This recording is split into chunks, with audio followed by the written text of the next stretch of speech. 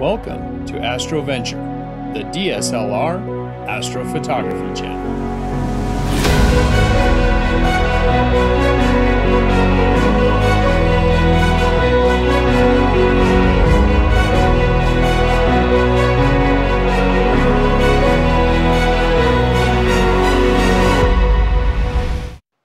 Hey there, AstroVentures. Welcome back.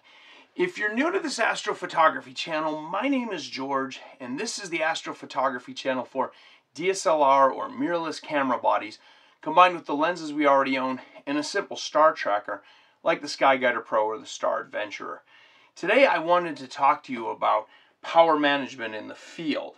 And before I get into what I'm doing, let me preface this with I'm not criticizing anything that anybody else does. To each their own. I'm about to share with you what I do. Take it or leave it, make your own decision. For myself, um, what I do is I use a 12 volt car battery to power my systems that I use during a night of astrophotography. Now, what brought me to this? There's a lot of various lithium ion power packs that are out there on the market. And they're great, but they are quite pricey. And the other thing is, I've heard from other astrophotographers in using them that they don't always uh, live up to what's advertised as far as the number of hours that they should expect to get out of their battery pack. And I was thinking about it, today's cars have so many electronics that are constantly drawing power off of a battery.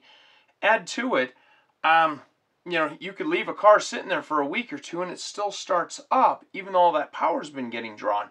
And so that's what brought me to the car battery.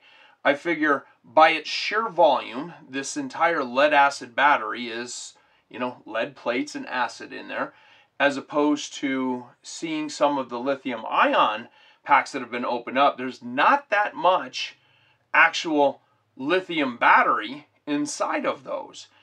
And with the 12 volt battery, it's quite a bit cheaper. The full case is the volume of material inside for storing energy.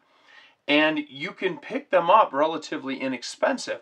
I purchased this one, which happens to be the, the same output that my Jeep uses, but I purchased this one at Walmart and I got it for a little under a hundred bucks. Quite a bit cheaper than a comparable lithium ion.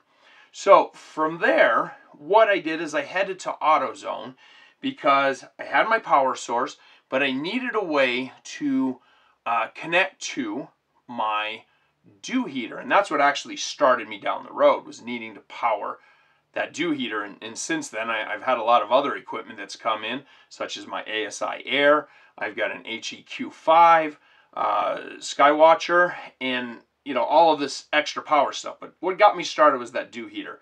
So I went to AutoZone, and the dew heater that I have wants a minimum recommended of two amps of output. And so went there, talked to my local rep. We started going through the different options.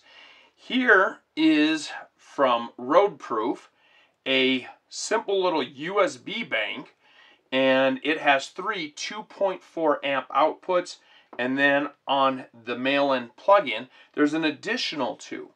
So how I set this all up.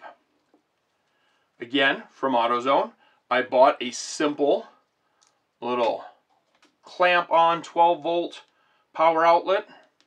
I purchased the Roadproof USB bank. I plug it in and now I'm all set. From here I can run my dew heater, as I said, my ASI Air, my HEQ5, and as a matter of fact, the entire New Moon crew runs off of this battery. We just run some extensions out from each one of them. And by the end of the night, when I go home, just to make sure that I am getting the power that's needed, I'll check it with the voltmeter, and at the end of the night, the battery doesn't even notice that we've been drawing off of it for the last six, seven, eight hours. So it works incredibly well. It's a cheaper alternative. I paid 20 bucks for this USB bank. I paid a little under $100 for the battery. And then my outlet here, I think I paid 10 bucks for the little battery clamp on outlet, and everything else is set. I'm good to go. And then in between uses, what I will do is put this on a, cost me $10.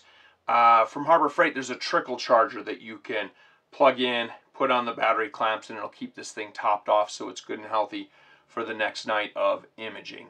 So there you have it. 12 volt car, car battery, simple 12 volt outlet, USB bank of 2.4 amp outputs, and I can run everything I need to run for the night. Before I let you go, if you're unaware, uh, AstroVenture has started a Facebook group, AstroVenture DSLR, and there you can check out sometimes sneak peeks on some of the latest videos we're doing, as well it's as it's a place to connect with the New Moon crew and other astrophotographers in our particular genre of doing photography, DSLR, DSLR, mirrorless, camera lenses, star tracker, and you can get in there and help, uh, you know, each other out, get some information that you need. It's a great forum staying within the niche that we're all shooting in. Until next time, I wish you clear skies and uneventful nights.